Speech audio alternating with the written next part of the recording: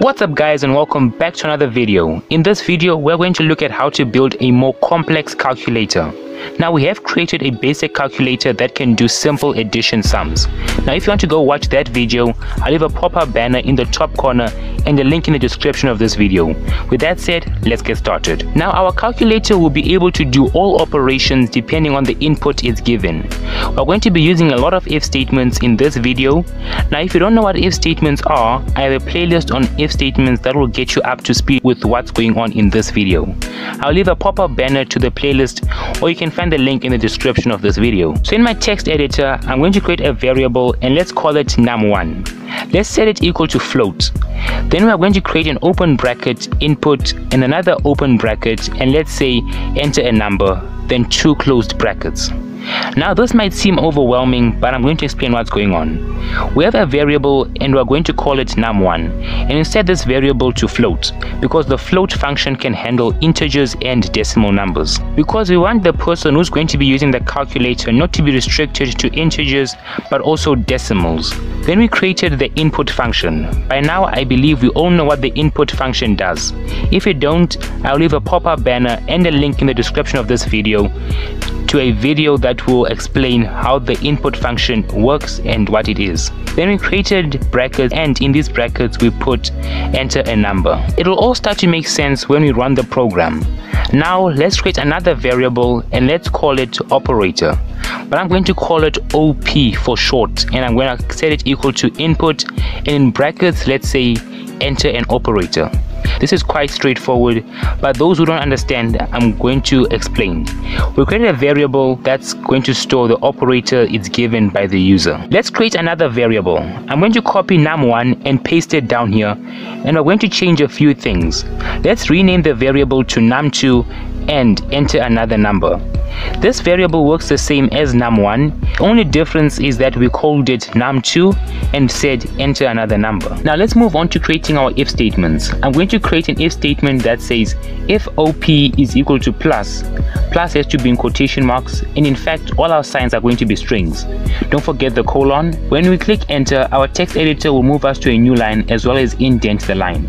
On this line, we're going to type print num1 plus num2. Then we're going to create an elif function and in this elif function, we're going to say op is equal to minus print num1 minus num2. I'm going to copy this line and paste it twice. Now here's an interesting fact about programmers. As programmers, we don't like writing code over and over and over. So where we can copy and paste, we're going to do that so we can save time. That's why I copy this line instead of rewriting it over and over again. Now back to our program and I'm going to change a few things. On the first one, let's add a division sign and say num1 divided by num2. Then let's add a multiplication sign and what we can say is num1 times num2. Then I'm going to create an else function. This else function is not necessary but is to make our program more complete and a little bit more professional. For this else function, let's print invalid operator. Now we have written all the code for our complex calculator. But before we run the program, let me explain what's going on in these if statements. So basically, these if statements are checking the variable OP and depending on the input the user gives, it's going to run the necessary code to complete the task. Let's run the program to see what will happen. So here at enter a number, let's input 9, then click enter. At enter an operator, let's input a plus sign, then enter. Then at enter a second number, let's input 36. Now when we click enter, it's going to add 9 and 36 and it gives us 45. Okay, so, so the code that adds the numbers works. Let's try the code that subtracts the numbers. So I'm going to rerun the program and this time let's enter 72 at enter a number then press enter. At enter an operator, let's input a subtraction sign. Then I'm going to press enter and at enter a second number let's input 13 now when i press enter it gives us 59 So with that, the subtraction code works. This time, let's try multiplying the numbers. Let's rerun the program. Over here, let's input 8989. And over here, I'm going to input the multiplication sign.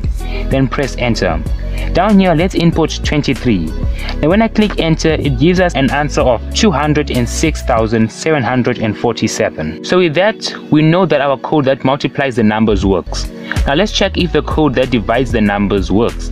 So I'm going to rerun the program and enter 1895 and press enter. Then I'm going to input the division sign and press enter. Then over here I'm going to input 5. Now when I click enter it should give us the answer and down here it gives us 379. Now with that, all our code works. Let's check to see if the else function works. So I'm going to rerun the program and over here, let's enter 5 and press enter. Then at operator, instead of entering an operator, let's enter a letter. I'm going to type an A, then press enter. Then over here, I'm going to input 16. Now when you click enter, it's going to print invalid operator.